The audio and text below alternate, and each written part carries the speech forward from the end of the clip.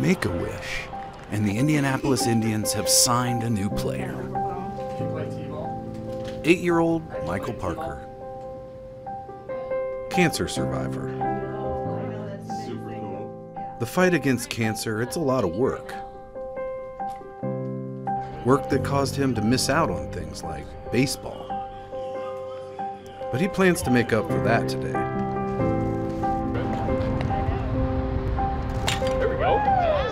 My first time after all.